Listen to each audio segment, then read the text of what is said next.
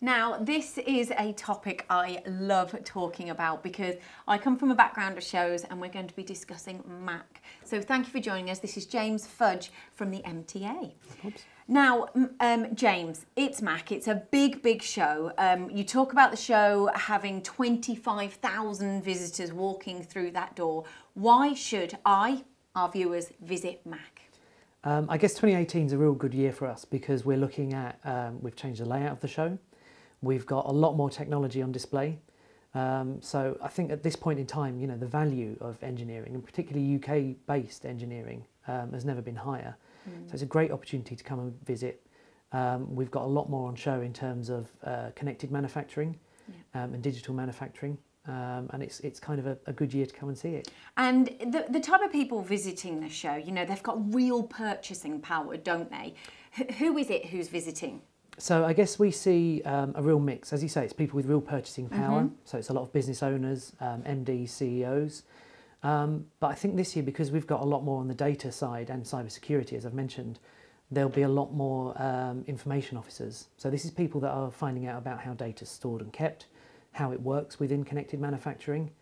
Um, and we'll also see people that are coming to kind of see what the latest technologies are within the industry. Yeah. Um, and these aren't people that necessarily buy within that week but are certainly looking at something for the next two years and will be coming along to the show to see the, uh, the machinery in action. Yeah, because the thing is, I always think for a company to come out, they've got to leave their machines, the MD maybe, or um, some of their engineers that they've got, they've got to leave their machines and it's going to cost them money inevitably. So what are you going, how can you sell MACH to get that MD out or that visitor? Why does everyone go to this show?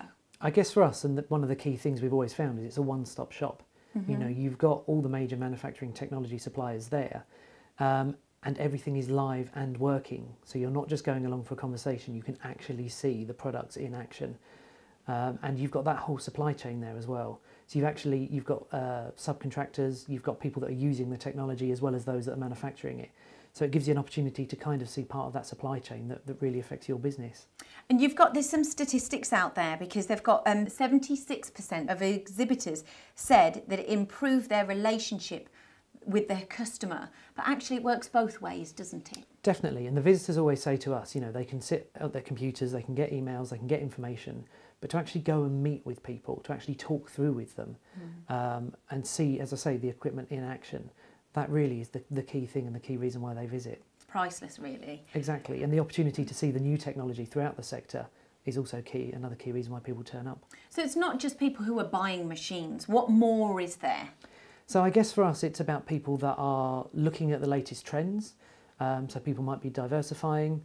Um, we're certainly seeing people who have traditionally only done subtractive manufacturing are now looking at additive, for example. Yeah. So our additive manufacturing zone has grown. People are coming along to look at the latest technologies.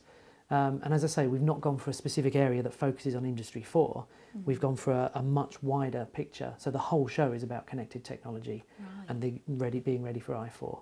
Yeah, because um, there's been themes previous years, hasn't there? Yeah, so we've still kept some of those zones. Mm. Um, so we've got an IT for manufacturing zone, which really focuses on the, the hardware and the software that backs up the, the I4 piece. Um, but we've also got um, an enlarged metalworking zone, uh, so metal forming, um, which mm. is uh, being supported by the Triple MA. We've got uh, an enlarged additive manufacturing zone, um, and we've also got a UK supply chain area, um, which really focuses on UK businesses um, and those people that are looking at reshoring. Okay, and who's that benefiting in the industry? So really, that's I mean that's a whole supply chain. Um, so we've got a couple of OEMs in there. We've got Safran landing systems, um, but as I mentioned earlier, we've also got subcontractors in there. Yeah. So it really is a bit more of a sort of wider supply chain. It's everyone, and I find as well at, at, at events, it's not just the exhibitors. The exhibiting, uh, the exhibitors are talking to each other. Yes, you and know. It, it was works. really funny because, uh, as I say, because we've got different parts of the industry all in the same room.